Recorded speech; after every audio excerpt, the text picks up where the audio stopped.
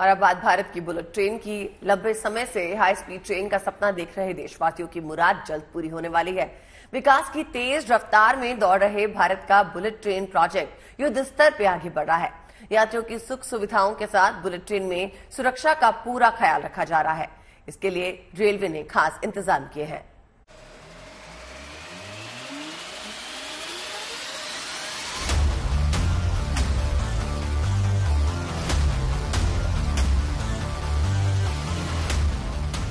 भारत में bullet train का सपना जल्द साकार होने वाला है।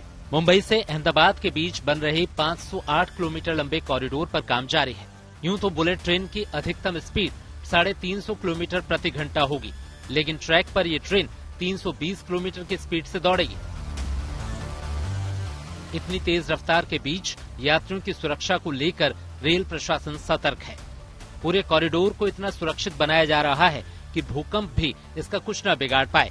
इसके लिए रेलवे पूरे कॉरिडोर में सिस्मोमीटर लगाने जा रहा है। सिस्मोमीटर वो उपकरण है जो प्रारंभिक तरंगों के माध्यम से भूकंप का पता लगाएँगे और आपातकालीन सिस्टम को सक्रिय करेंगे। 508 किलोमीटर लंबे बुलेट ट्रेन कॉरिडोर में 28 सिस्मोमीटर लगाए जाएँगे। इनमें से 22 सिस्मोमीटर बुलेट ट्रेन रूट पर लगेंगे। महाराष्ट्र में आने वाले हिस्से में आठ सिस्मोमीटर लगाए जाएँगे। मुंबई, ठाणे, विराट और बोईसर जैसे इलाके चिन्हित किए गए हैं।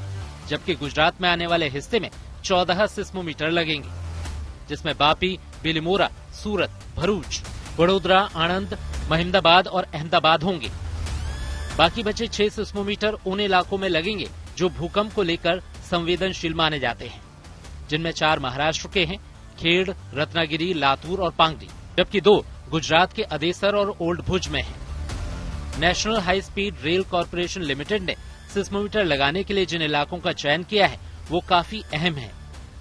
जहाँ पिछले सौ सालों में भूकंप की तीव्रता साढ़े पाँच से ज़्यादा रही, वहाँ ये सिस्मोमीटर लगाए जा रहे हैं। अब ये भी जान लीजिए कि आपातकाल में बुलेट ट्रेन की मदद कैसे करेगा सिस्मोमीटर। सिस्मोमीटर प्रारंभिक तरंगों से भूकंप का पता लगाएगा। भूकंप के झटके की जानकारी होने पर सिस्टम एक्टिव हो जाएगा। ऑटोमेटिक सिस्टम से कॉरिडोर की बिजली अपने आप बंद हो जाएगी। बिजली सप्लाई बंद होने से आपातकालीन ब्रेक सक्रिय हो जाएँगे। भूकंप प्रभावित इलाकों में चल रही बुलेट ट्रेन रुक जाएगी। भारत में बुलेट ट्रेन प्रोजेक्ट प्रधानमंत्री नरेंद्र मोदी का ड्रीम प्रोजेक्ट है। ये प्रोजेक्ट भारत और जापान की अटूट दोस्ती की भी मिसाल है। रेलवे इस प्रोजेक्ट में किसी भी तरह की खामी नहीं छोड़ना चाहता। खास बात यह है कि बुलेट ट्रेन को भूकंप से सुरक्षित बनाने वाले इस पूरे प्रोजेक्ट पर जापानी विशेषज्ञ भी नज़र बनाए हुए हैं। Bureau Report, Good News Today.